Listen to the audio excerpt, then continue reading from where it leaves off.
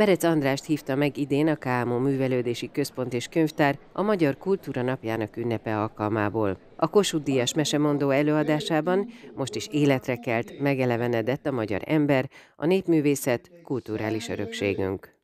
Én legszebb, legigazabb regényeimet nem papírokról és könyvekből olvastam, hanem élő embereknek az ajkáról olvastam le. Ezért hát ennek törvényei vannak. A szóbeliség az mindig találkozásokat tételez fel, barátságokat.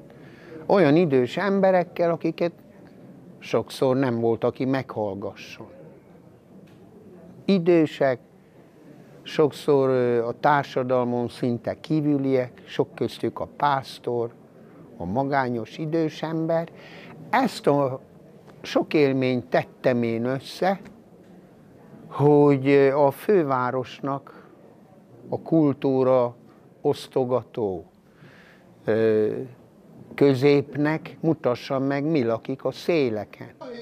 Mesemondásaiban egyesül költészet, népiség, bölcsesség, derű, gyermeki játékosság. Berec úgy felemeli a magyar emberséget, nyelvi leleményt, mint Bartók vagy Kodája népzenénket, csak éppen roppant szórakoztatóan. Írja róla Jó István újságíró.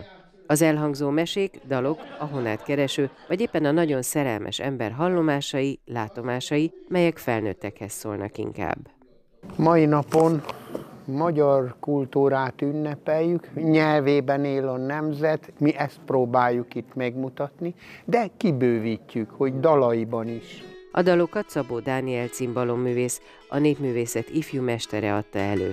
Ami pedig a prózát illeti, Berec András előadásában ki lehetett tapintani a tárgyakat, a figurákat, a mindennek középpontjában álló humánumot, a magyar embert. Most megmutatom,